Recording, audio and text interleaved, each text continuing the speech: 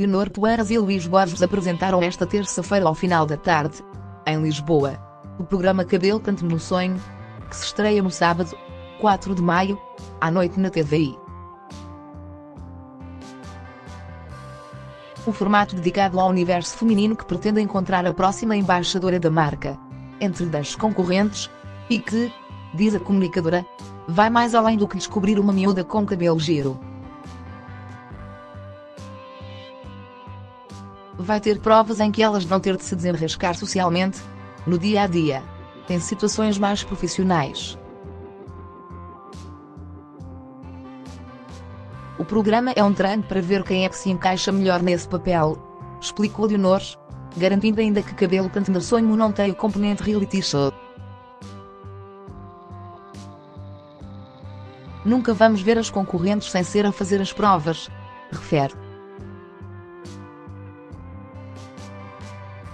O Luís Foz muitas vezes ao guião em formato assinala a estreia de Luís Borges na apresentação. Ele foge muitas vezes ao guião e ainda bem. Ganha imenso quando isso acontece, revela a anfitriã. Ele chegou um bocadinho receoso, mas rapidamente percebeu que trabalhar em televisão, em particular em entretenimento, é uma alegria. Completou. Já o modelo frisa que gostou muito de estar ao lado de Leonor durante as gravações. Foi um bom matespar e um bom apoio para mim. No primeiro programa estou um bocadinho preso, mas nos outros estou mais à vontade. Eu não gosto de decorar texto, gosto de fazer as coisas à minha maneira e eles da produção bem de me deram carta branca para eu fazer as coisas à minha maneira. No segundo programa já estou muito melhor, confessa. Além de ser apresentador, Luís Borges assume ainda o papel de mentor das candidatas.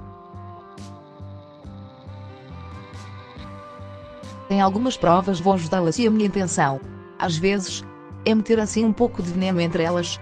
Riu-se. É importante ver a reação delas, Ver como reagem quando são postas à prova, justifica. Consigo ser um bocado e cabrãozinho em tradução livre, mas ao mesmo tempo sou doce, frisou. Além de Luís Borges e de Leonor Poeiras, a atriz e modelo Ana Sofia Martins, o fotógrafo de moda Mário Príncipe e o aerostilista Mateu Dupe, Mate, integram o painel de jurados. Filho de Leonor foi apoiar a mãe António, de 11 anos, apareceu no final da apresentação do programa e surpreendeu a mãe. Leonor não resistiu a dar um beijo ao filho, que, ainda de mochila às costas e acabado de chegar da escola, ficou com o rosto marcado como o batom da apresentadora.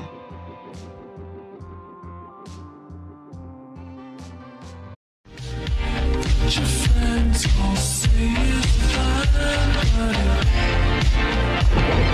you.